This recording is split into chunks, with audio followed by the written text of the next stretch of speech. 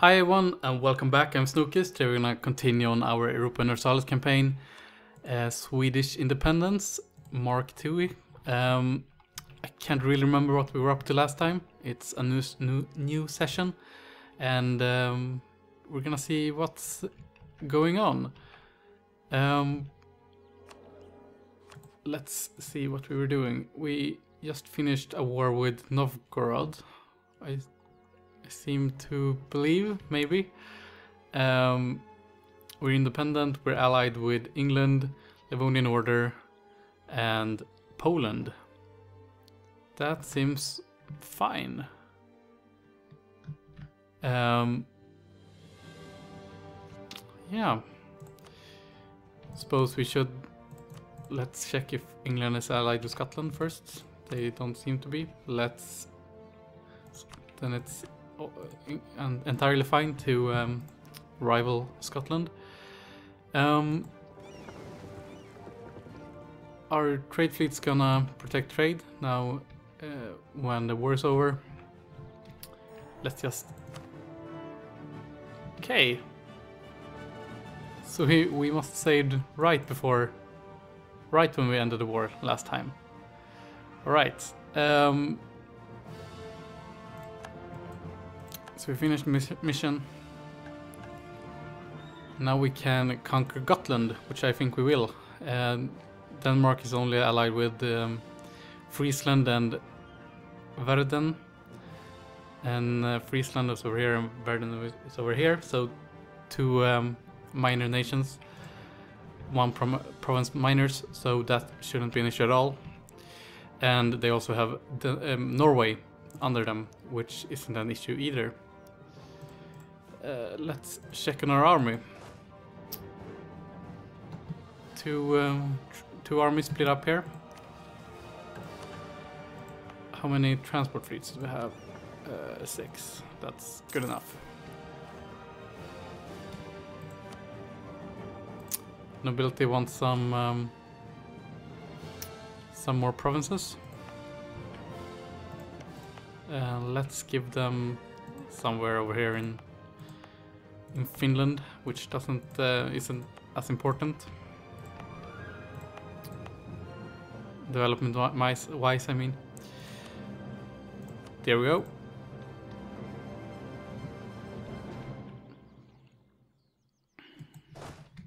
Okay, so 13-2, I think um, the overrepresentation of infantry is fine, uh, considering our increased um, infantry um, what's it called? Infantry combat ability. So before we declare war, I think we should uh, try to pay off our loans, our loan, just one, and um, so we can go into the war with a clean slate.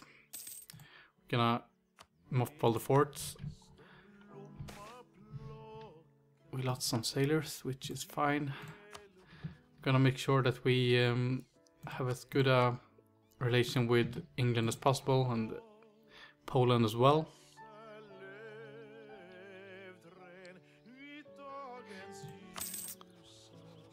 We have the next best heir in Scotland.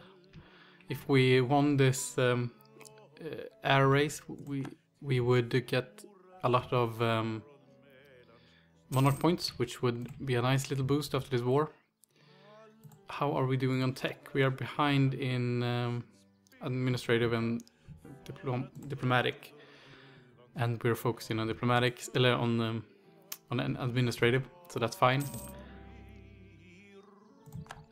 Uh, CB against Scotland, which we won't use. We don't wanna get into a fight with uh, France. Um, that's a risk worth worth considering. Uh, I suppose that maybe England would will be attacked or will attack France, and in which case we will have to defend them. I suppose. Um, doesn't mean much. I don't think any any of the fighting will come to our shores, but um, England will be pissed if we don't participate on some level. I suppose our fleet can can do some supportive missions in in any case. Okay, so our rivals are Novgorod, Denmark, and Scotland. Denmark is our future target here. Um, and after that, possibly um, conquering somewhere in uh, Novgorod. Um, I don't see that happening too soon. Okay. We should increase. Okay, that's too bad. Can we do these at least? No, we can't. Why is this so high? Separatism, intolerance, war exhaustion, which I'm not gonna buy down. Uh, we could buy another stability, but I don't really want to. I, I want um, the ideas. Um, we got that guy.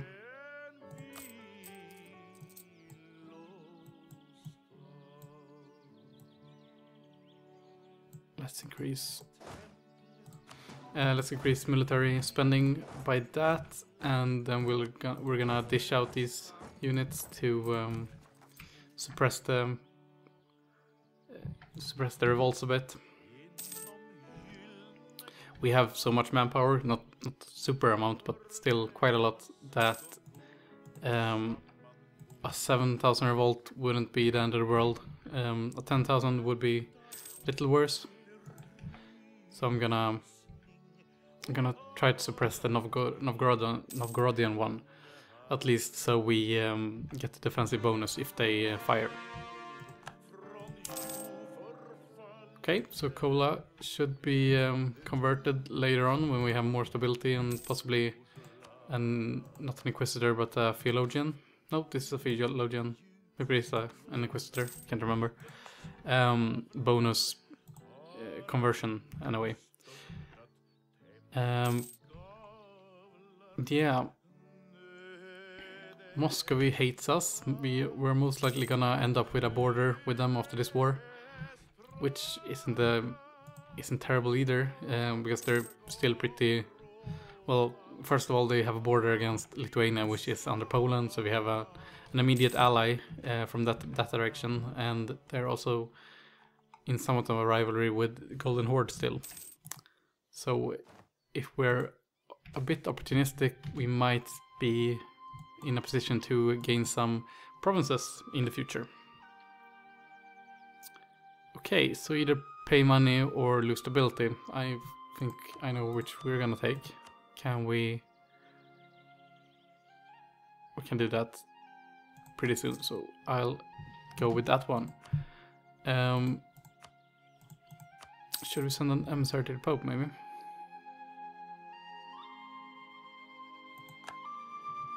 Yep, sure. Gonna do that. G gain some um, ahead of time, uh, ahead of time uh, bonus for our trade. Cool, cool, cool, cool. Um, well, it's a while to go before we can use any of the Catholic bonuses.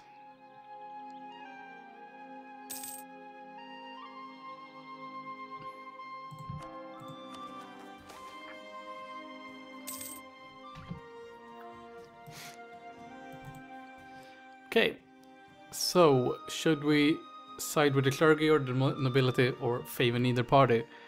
Um, I think the sensible thing to do is to favor the clergy because then uh, because the nobility is loyal enough that we won't get any disloyal penalties. And the oh shit, but I fucked that up. Uh, if we do that, then um, the clergy is gonna have above 80, even above, no, just above 80 uh, influence. So they're gonna start moving to make Sweden a monastic state through a religious coup, which we aren't a fan of. Which is gonna take just under 10 years, I think hell, let's uh, let's go with siding with clergy, and in the worst case scenario, we can um, we can simply revoke some of their land, which we're probably gonna have to do. Dominance of the clergy. That's the event that's gonna fire if we allow them to have above 80 or 85, 85 influence um, in the long term. So as right now, it's gonna take a few years at least. At least, um, at least one year. We're gonna have to have to keep an eye on that. And in worst case scenario, probably remove like like some of these. Right, so we cored um, these two areas, and now their unrest isn't entirely gone, but slightly. I placed this army in the wrong province. That's my fault, my bad. Let's um, take an advantage of um, of the increased natural attacks modifier, at least.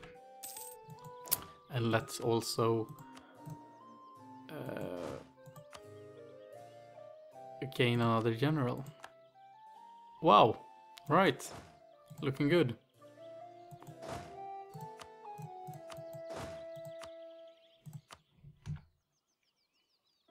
Less attrition, always nice.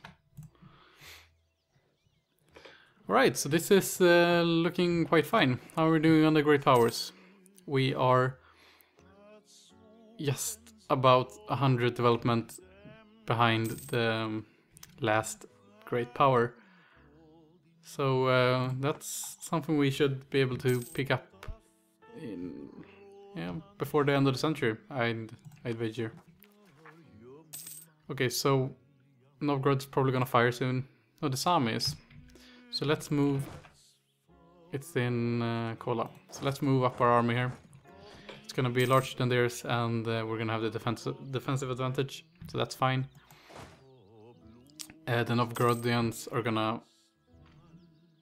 Great. So now we can. Uh... Okay, let's let's not. Actually, if uh, Kola is gonna fire anyway, let's. Um... Of course, it's gonna cost money. I'm just gonna see how much it costs. That that's fine. We can afford that. Um, all right. So they're gonna fire soon, I hope, so we can get them back down to Karelia and um, suppress the Elder Rebellion. Could afford another um, advisor, but it's not something I'm gonna do right now. Oh, it wasn't. It wasn't us. I should have. I should have looked more closely. It's our heir that's got the bonus missionary strength, which is good still. Good for the future. Very strong leader overall. Strong monarch. Is that something to look forward to?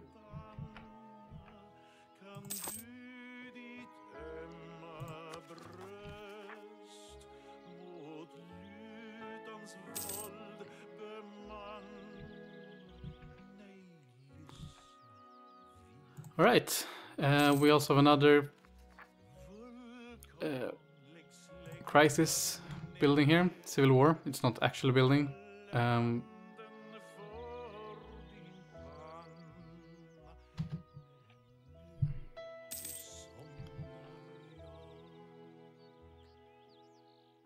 I don't know exactly what it needs to uh, progress, but um,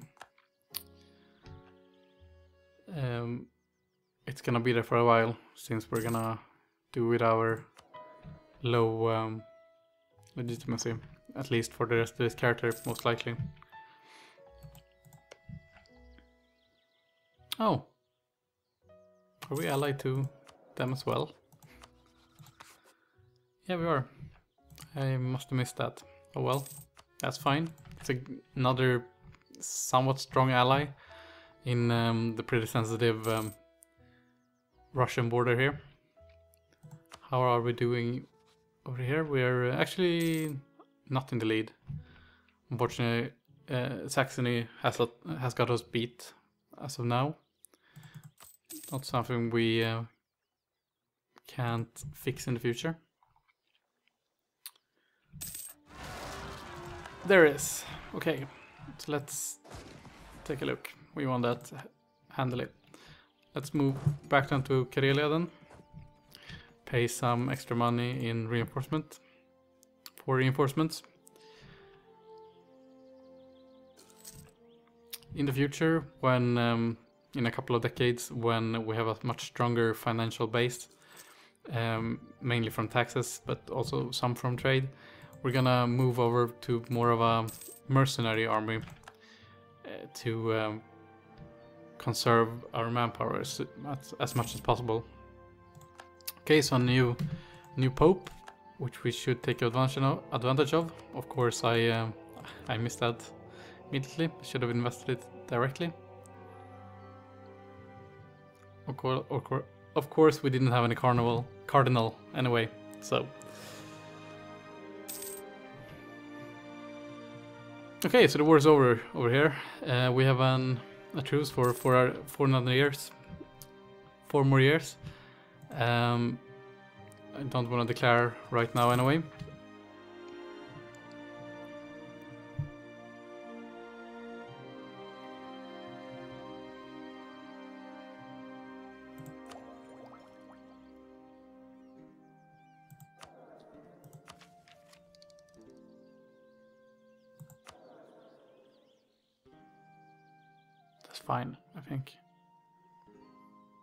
Actually, let's let's go with the prestige and the autonomy in Östergötland. It's um, somewhat of a high development province for Sweden anyway, but I think it's better than losing um, almost eight months of um, administrative points. Okay, yeah, right. I was, I was gonna take care of the dominance of the clergy. So we we're gonna have to revoke some of these. Influence, okay.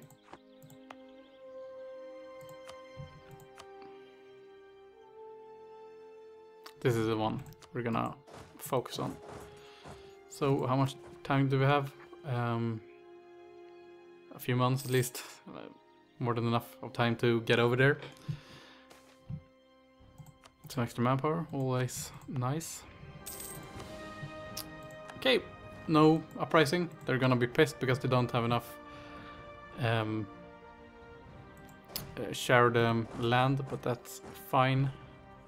And we now, um, by doing that, we, we're most likely not gonna have uh, uh, Novgorodian rebellion, rebellion. So that's that's cool. Right. So now we can pay off our loan, maybe? Maybe not. Need 89, so um, two more months. Um, after that, we're we're gonna save us some money to invest in our navy and probably maximize our army since we're at our max manpower. Quite a stale episode. Okay, let's see here. Uh, you're still allied with Pomerania now. That's interesting. Because I'm going to want to have a foothold down here in northern Germany, both because of historical reasons, um, and it's always uh, fun to play historically, but also because of the technologies. Because moving forward uh, about that as well, I'm gonna have to try to get um, uh, what's it called? Uh, the Renaissance, right? The Renaissance up here. It's already developing some. This one is gonna be done uh, in 10 years, 20 years. okay. That uh, the the one in Stockholm even longer. I think that's the most.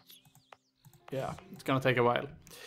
Um, but anyway, as I, as I was saying, um, if we take a look at the institutions, colonialism will start off in probably down here, possibly in England, and um, it's most likely going to spread over the continent. And for that, we want to have a foothold on the continent because when, say, we take Greifswald, um, when that one has embraced um, colonialism, it will um, affect Skåne and so on. Uh, if we don't do that, we're gonna have to wait on the institution either spread through here or through Denmark, which is gonna take a while.